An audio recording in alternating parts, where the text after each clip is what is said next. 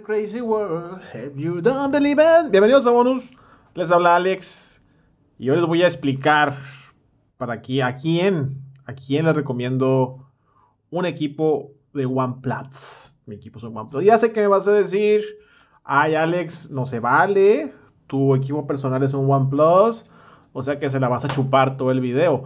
No me parece justo que piensen eso. O sea, sí lo voy a hacer, ¿no? Pero no tienes por qué pensarlo, ¿no? O sea, espérate que el video. Bien, es cierto. Se voy a empezar a succionar a OnePlus. Aquí le recomiendo un equipo de OnePlus. Eh, ¿Quieres el mejor software en Android?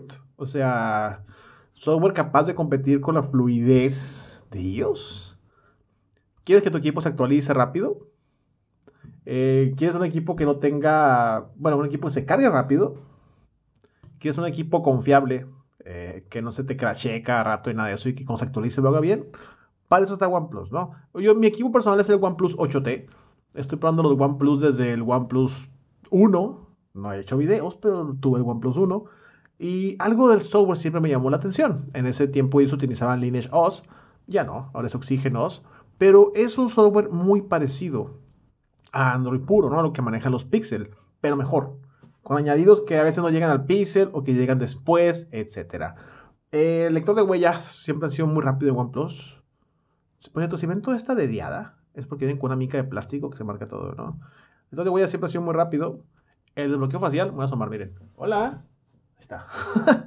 Eh, todo es muy rápido. Todo es muy rápido en OnePlus. Tenemos las opciones para silenciar el teléfono, eh, como en iPhone, como en Apple. Vibración, todo. Vibración, silencio total. Ahora, antes de decidir hacer otra vez OnePlus mi equipo personal, eh, yo utilizo los equipos del G. Este video está grabado con el G V50, pero que era un equipo personal para trabajar, ¿no? Y era, estaba entre un OnePlus y entre un equipo de Apple. Perdón, no, no, no, entre un Galaxy Note 10.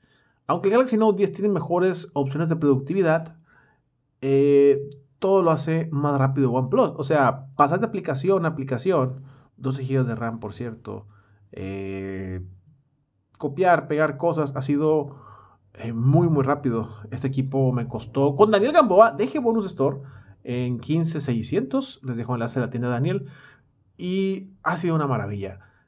Muy bien optimizados lo que es batería y desempeño. Si tienes un OnePlus desde el 6T o el 6, todavía va a estar muy bueno, no te urge cambiarlo. Y eso es lo bueno, ¿no? Vas a tener un teléfono Android rápido que te va a durar mucho tiempo. Eh, ¿Para quién no le recomiendo OnePlus? A la persona que quiera muchos extras, que quiera que su cadena inalámbrica, que modo escritorio, la mejor cámara, para nada.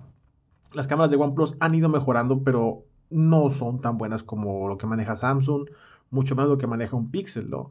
El video es terrible, pero yo no soy una persona que tome video ni fotos, ¿no? Con esos teléfonos, yo los quiero para otras cosas. Aún así las fotos son buenas en el día. No sé si tengo unas muestras aquí. Aún así no es que sean terribles, eh, terribles fotos. Eh, simplemente creo que... ¿Dónde están de cámara? Simplemente creo que no. No va a ser una cámara para que digas presumirla, ¿no? Pero en fotos con buena luz salen preciosas. En baja luz empieza a batallar. Eh, aún así, son buenas fotos. Si has visto mis reseñas, están las carpetas ahí, pero no las mejores. Bien, para esas personas recomiendo OnePlus. La mayoría de estos equipos son doble chip, eh, ya son 5G también, y creo que están a muy buen precio. De hecho, creo que el, 8, el 8T de 128 está en 13.700. Son equipazos a buen precio, siempre van a estar actualizados con muy, muy buen software. La mejor, la mejor capa de personalización de Android para mí es Oxygenos. Eh, y ese teléfono va a ser para ti si buscas esos. Gracias por acompañarme, que tengas buen día. Siguiente teléfono para quién, les vamos a hablar de LG, ¿qué les parece? Padres, bye.